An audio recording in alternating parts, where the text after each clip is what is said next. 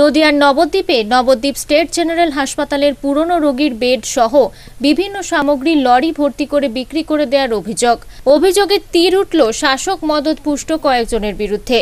Nabadwip DYFI local কমিটির সম্পাদক বলেন, বৃহস্পতিবার সকালে হাসপাতালের রোগীর পুরনো বেড সহ বিভিন্ন পুরনো জিনিসপত্র একটি লরি বোঝাই করে বিক্রি করে দেওয়ার প্রচেষ্টা চলছিল।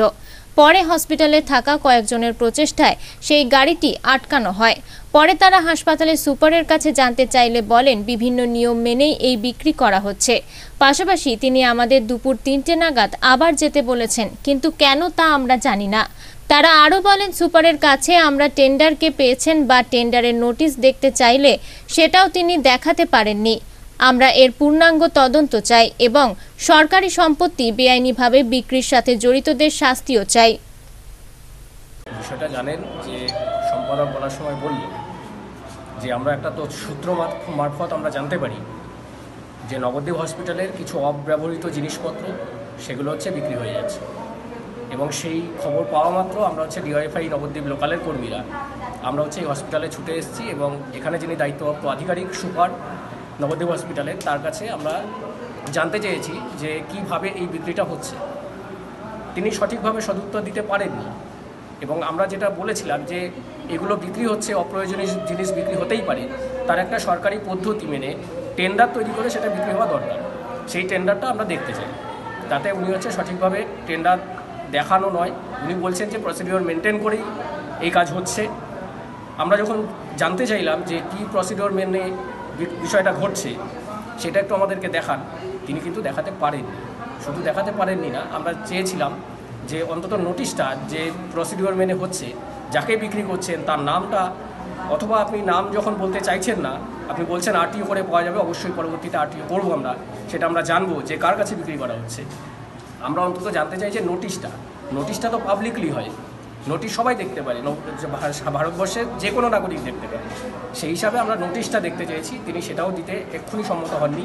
তিনি একটু সময় দিয়েছেন। নোটিশটা তিনি আমাদের আমাদের চাপের কাছে উনি মাথা নত করে উনি বললেন যে একটু পরে আসুন। আমরা হচ্ছে নোটিশটা অন্তত দেবো। তিনটের সময় উনি টাইম দিয়েছেন। যে আমরা সকাল থেকেই নবদ্বীপ শহরে একটা খবর যে নবদ্বীপ হসপিটালে ভাঙাচোরা যে বেড হুইল চেয়ার যা রয়েছে, সেগুলো হচ্ছে শাসক শ্রেণির মদতে সেগুলো হচ্ছে নবদ্বীপ থেকে লরি করে পাচার হয়ে যাচ্ছে। হসপিটালে খুব ক্ষুদ্র এক অংশের প্রচেষ্টায় এবং সাধারণ মানুষের প্রচেষ্টায় সেই গাড়ি হচ্ছে আটকানো হয়। সেই গাড়ি হসপিটালের মধ্যেই আছে। আমরা ভারতের গণতান্ত্রিক যুব ফেডারেশন নবদ্বীপ লোকাল, আমরা হচ্ছে নবদ্বীপ আজকে হসপিটালে এসেছি। যিনি হচ্ছেন দায়িত্বপ্রাপ্ত আধিকারিক আছেন, সুপার আছেন, তার সাথে আমরা কথা বললাম। নিশ্চিতভাবে কথা বলার মধ্যে দিয়ে তাকে যখন আমরা প্রশ্ন করি, সেই প্রশ্নের কিন্তু তিনি সদুত্তর কিছু তেমনভাবে দিতে পারেননি। তিনি যেটা বলতে চেয়েছেন, আমরা বলেছি যে তিনি যখন কোনো কে টেন্ডার ডেকেছেন, তিনি বলছেন সব কিছু প্রসিডিউর মেনটেন করে হয়েছে। আমরা যখন জিজ্ঞেস করেছি যে কে পেল টেন্ডার তিনি বলছেন যে এটা দেখানো যাবে না। কিন্তু তার পরিপ্রেক্ষিতে যখন আমরা বলেছি সার্বজনীন গ্রাহ্য যেটা দেখানো যেতে পারে, যে নোটিশ জারি করে আপনারা তো করেছেন, তাতে প্রসিডিউর আছে। সেই নোটিশটা দেখান, সেটাও তিনি দেখাতে পারেননি। তিনি আমরা চাপ সৃষ্টি করাতে, তা তিনি বলেছেন যে তিনটে নাগাদ আসুন, দেখছি কি করা যায়। আমরা জানি না তিনটের সময় কোনো সদুত্তর পাবো কিনা। কিন্তু এই জিনিস শুধু নবদ্বীপ হসপিটালে নয়, গোটা নবদ্বীপ জুড়েই চলছে। এবং তারপরে গোটা রাজ্য জুড়ে। এই নবদ্বীপে হচ্ছে বালি খাদান চলছে, নবদ্বীপে হচ্ছে গাছ কেটে দিয়ে হচ্ছে সব হচ্ছে হয়ে যাচ্ছে।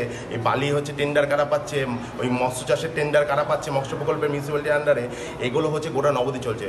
এটা তো হিমশৈলীর চূড়া মতো এই বড় জিনিস আরও বাকি আছে।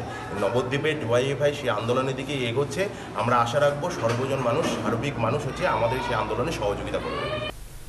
নদিয়া থেকে মাধব দেবনাথের রিপোর্ট, আনন্দ বার্তা।